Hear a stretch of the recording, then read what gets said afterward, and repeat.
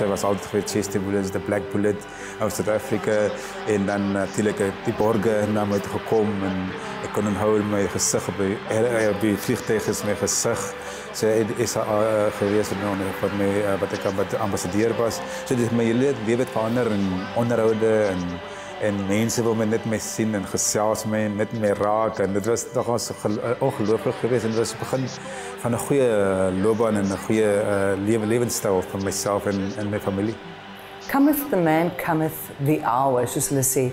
Wat dink jy het jou voorberei in jou lewe om op daai kritieke oomblikke uit te haal en te wys?